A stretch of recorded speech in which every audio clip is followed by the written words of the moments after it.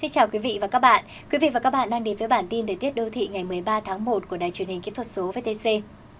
Thưa quý vị, do chịu sự chi phối của hệ thống không khí lạnh nên thời tiết các tỉnh thành Bắc Bộ, đặc biệt là phía Đông và đồng bằng Bắc Bộ có mưa nhỏ vào đêm và sáng sớm. Trong khi đó, các tỉnh thuộc phía Tây thì trời ít mưa hơn, nhiệt độ thấp nhất vào thời điểm này phổ biến trong khoảng từ 15 đến 18 độ. Các tỉnh vùng núi có nơi chỉ còn khoảng từ 13 đến 15 độ, trời rét. Thời gian trưa và chiều thời tiết không mưa, song do trời nhiều mây nên nhiệt độ ban ngày không tăng cao, cao nhất phổ biến sấp xỉ trên ngưỡng 20 độ. Đến với các tỉnh thuộc khu vực Trung Bộ từ Thanh Hóa trở vào đến Quảng Ngãi, trời sẽ có mưa rào trong hôm nay. Nguyên nhân là do hệ thống đới gió Đông Bắc kết hợp với điều kiện địa hình, nhiệt độ trong ngày và đêm nay cũng giảm xuống. Về đêm và sáng sớm phổ biến ở nền nhiệt là từ 16 đến 19 độ.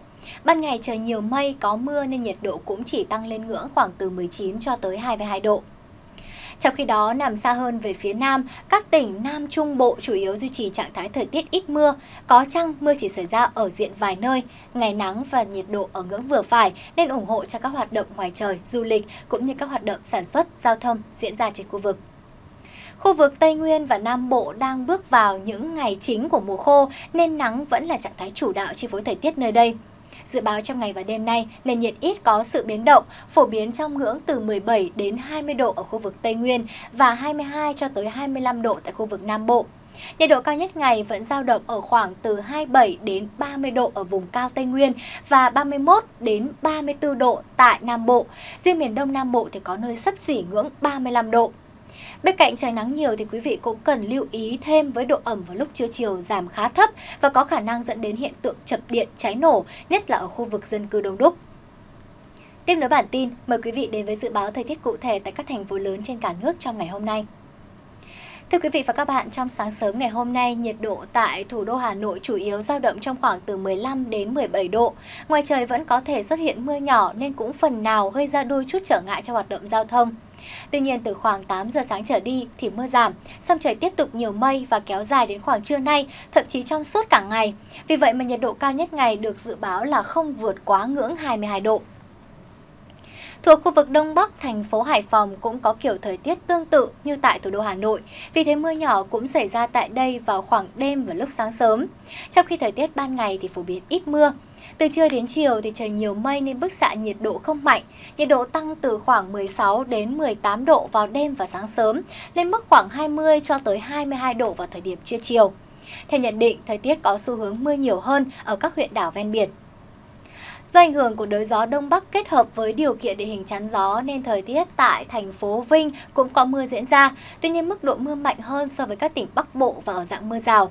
Thời gian mưa có thể xảy ra trong cả ngày. Nhiệt độ về đêm tại thành phố Hạ Thấp ở khoảng từ 16 đến 18 độ, ban ngày cao khoảng từ 20 đến 22 độ và thường rơi vào khung giờ giữa trưa và đầu giờ chiều. Mưa có thể xảy ra trong cả ngày nên không mấy ủng hộ cho các hoạt động ngoài trời cũng như là giao thông và du lịch. Đến với thành phố biển Đà Nẵng xinh đẹp, trong ngày hôm nay thời tiết vẫn có mưa, kiểu mưa rào, gió thổi nhẹ với biên độ nhiệt ngày đêm khá ổn định, dao động từ 22 đến 27 độ.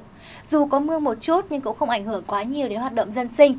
Nhìn chung, thành phố Đà Nẵng vẫn là địa điểm lý tưởng cho du khách gần xa đến tham quan khám phá trong 24 giờ tới. Ở đây có nhiều bãi biển đẹp có thể ngắm cảnh hoặc là những khu di tích, đền chùa có kiến trúc độc đáo cho quý vị và các bạn chiêm ngưỡng. Đến với thành phố Đà Lạt thuộc vùng cao Tây Nguyên, thời tiết trong ngày hôm nay sẽ tiếp tục chuỗi ngày không mưa và có nắng vào ban ngày. Nhiệt độ ban trưa sẽ đạt khoảng từ 24 đến 25 độ. Chỉ lưu ý quý vị là về đêm và sáng sớm thì trời vẫn còn khá rét với nhiệt độ thấp nhất có thể hạ xuống ngưỡng từ 15 đến 16 độ. Vì thế khi lưu thông trong thời điểm này thì quý vị nhớ mặc thêm áo khoác để đảm bảo sức khỏe. Đến với thành phố Hồ Chí Minh, trời cũng hầu như là không mưa, ban ngày nắng xuất hiện nhiều hơn với nhiệt độ đạt mức 33 đến 34 độ. Cùng độ ẩm giảm thấp nên tạo cảm giác khô nóng. Về tối và đêm thì nhiệt độ giảm dần xuống chỉ còn khoảng từ 24 đến 25 độ, thời tiết mát mẻ và dễ chịu hơn, thích hợp cho quý vị cùng gia đình và người thân đi tham quan và dạo chơi trên những con phố, ngắm cảnh phố xá nhộn nhịp những ngày cuối năm âm lịch. Những thông tin vừa rồi cũng đã khép lại bản tin thời tiết đô thị ngày hôm nay. Xin kính chào tạm biệt và chúc quý vị một ngày mới tốt lành.